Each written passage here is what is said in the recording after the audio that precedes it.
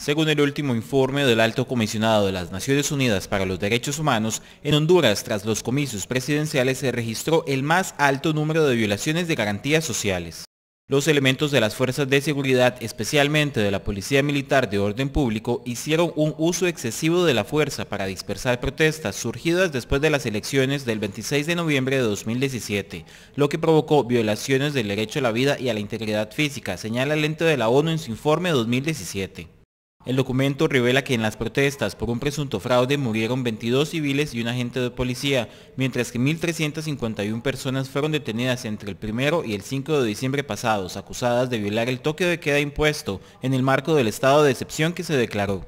La ACNUD espera que Honduras realice investigaciones prontas, efectivas, independientes y transparentes sobre las denuncias de violaciones de los derechos humanos durante la crisis postelectoral y que las víctimas tengan acceso a un recurso efectivo y una reparación. El informe también revela los peligros a los que se enfrentan activistas de derechos humanos en Honduras, revelaciones que motivaron un encuentro del presidente de Honduras, Juan Orlando Hernández, con representantes del Consejo Nacional de Protección para Defensores de los Derechos Humanos, periodistas y operadores de justicia, para abordar el tema de la protección a estas agrupaciones y gremios profesionales que se han visto amenazados en el ejercicio de sus funciones.